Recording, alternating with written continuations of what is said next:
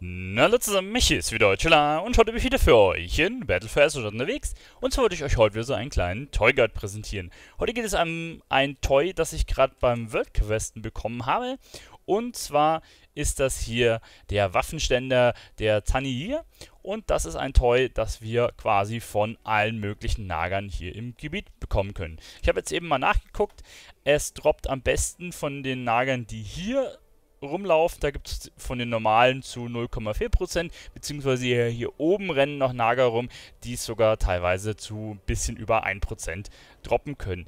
Ähm, sonst habe ich geguckt, kann es auch von allen anderen Viechern, also von allen anderen Nagern hier im Gebiet droppen, aber dann geht es schon ein bisschen runter, 0,1, 0,2 Prozent. Heißt, am besten werdet ihr es wahrscheinlich hier, beziehungsweise dort, wo ich es gerade bekommen habe, hier unten farmen können. Da sind auch relativ viele Nager. Ich habe einfach nur ein paar für eine World Quest umgeboxt. Dann ist mein Toy gedroppt und ich würde sagen, wir gucken uns das jetzt mal an.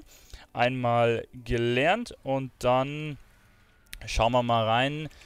Waffen Waffenständer, da haben wir ihn. Und zwar, wenn wir benutzen, dann ähm, können wir hier diesen Waffenständer einmal beschwören und ich sehe nichts.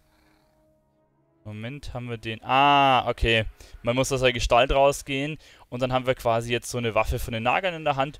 Sieht ganz schick aus, nichts Besonderes an sich, aber ja, ist eine nette Geschichte, hat man halt quasi genauso die gleiche Waffe wie die Nager, die hier rumlaufen. Ja, das war es eigentlich auch schon mit dem kleinen Videoguide. Ich hoffe, dem einen oder anderen konnte ich weiterhelfen, dass er seine Toy-Sammlung ein bisschen ähm, aufstocken kann.